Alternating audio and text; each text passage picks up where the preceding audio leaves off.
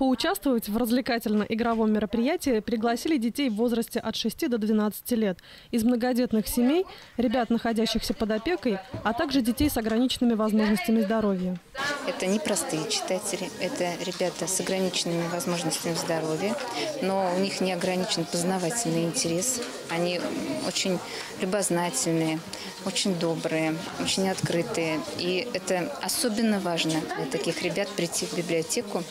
А, и ну, сейчас все готовятся к празднику. Я думаю, что и эти ребятки не исключение. Это долгожданный праздник для всех, и для взрослых, и детей. В том, что маленькие гости являются постоянными читателями библиотеки, мы смогли убедиться сами. В ответ на вопрос о любимой книге дети легко вспоминали героев из прочитанных произведений. Вот не, непоседа. У них две книжки. Ну, про непоседу, который сидел.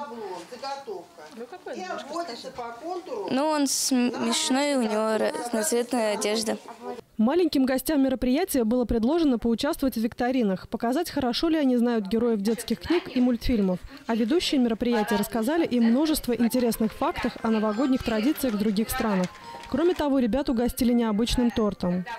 Этот кусочек возьмете, он открывается, он необычный, а внутри что-то есть.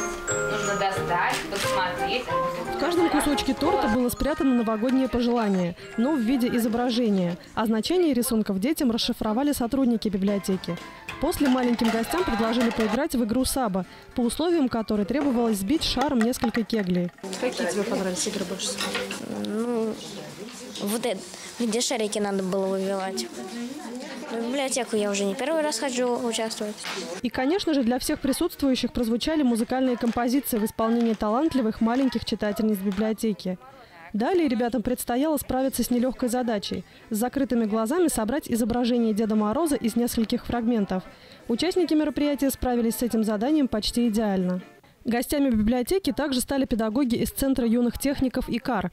Они пришли не с пустыми руками, а принесли детям заготовки новогодних масок, дав возможность каждому из присутствующих сделать самостоятельно симпатичную поделку.